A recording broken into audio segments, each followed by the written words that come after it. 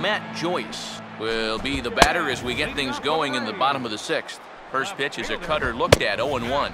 Right by him here, and he's set up for another strikeout here. The count to 0-2. And this ball will be chopped foul. And he is down on strikes again. So get your hats out. That's the third strikeout of the game. Wilson Betemit is at the plate and he checks his swing for ball one. And Betemit able to lay off there as the count moves to 2-0 now. 3-0 now. And he's got a little bit of work to do now to avoid that first walk.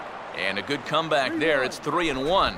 And a changeup. Couldn't get him to bite, and it's ball four. Francis Zambrano is in for the third time now as he takes a called strike. It's 0-1.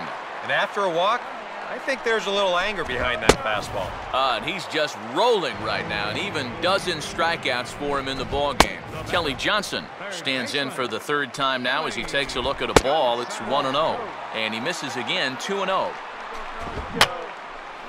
And here's a ball hit in the air. And he's able to get there on the long run, and he covered.